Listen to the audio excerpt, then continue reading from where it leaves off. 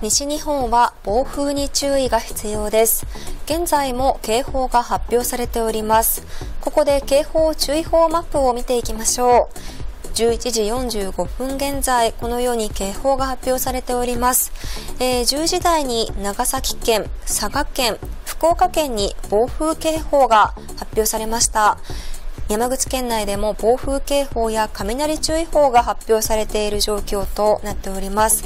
この後も最新の情報の確認が欠かせません。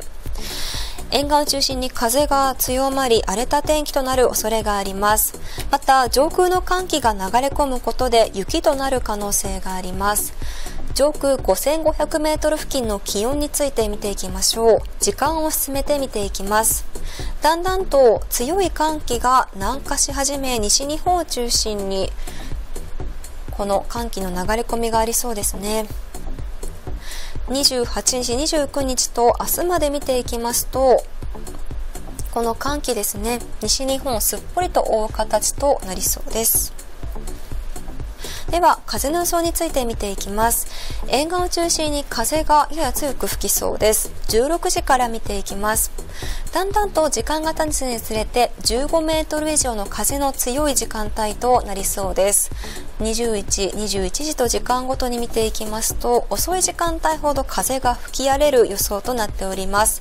雪が降ってしまうと吹雪く恐れがあります。明日4時までご覧いただきました。また天気の移り変わりも見ていきます。